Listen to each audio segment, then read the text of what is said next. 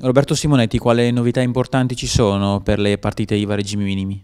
Sì, alle quattro e mezza di questa mattina, grazie all'intervento della minoranza, soprattutto di Lega Nord, eh, siamo riusciti a convincere il governo e i relatori della bontà della nostra proposta, che è quella di prorogare anche per il 2015 l'aliquota del 27%, l'aliquota contributiva appunto per le partite IVA sui minimi, perché con la legge finanziaria era stata portata al 31%. E questa è una grande soddisfazione per tutti coloro, tutti quei ragazzi che devono aprire la partita IVA per iniziare la loro carriera professionale, questo dà sì eh, un vantaggio vantaggio in più in termini economici in un momento in cui lavorare e avere una partita IVA è certamente difficile. Il dato politico è che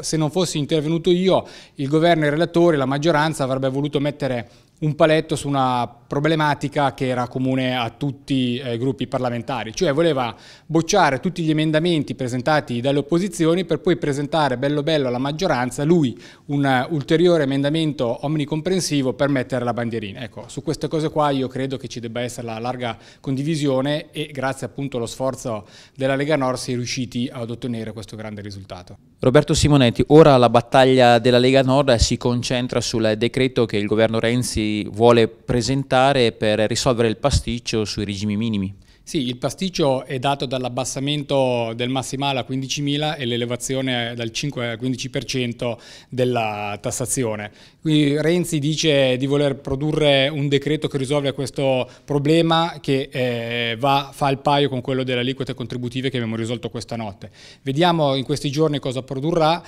di, di conseguenza noi ci eh, comporteremo. Chiaro è che così non può andare avanti perché così eh, vuol dire ammazzare eh, i poveri ragazzi da un punto di vista lavorativo che non trovano eh, lavoro a tempo indeterminato come dipendenti e così non riescono ad aprirsi una propria partita IVA perché è troppo onerosa.